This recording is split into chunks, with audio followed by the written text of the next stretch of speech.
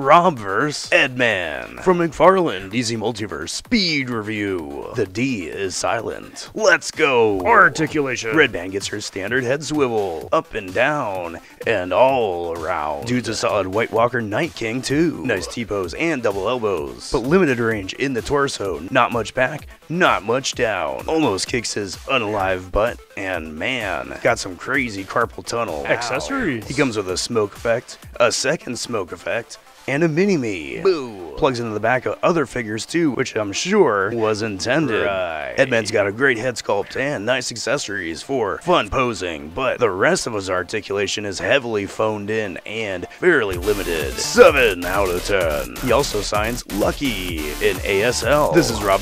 Toys. Subscribe. We'll see you next time for...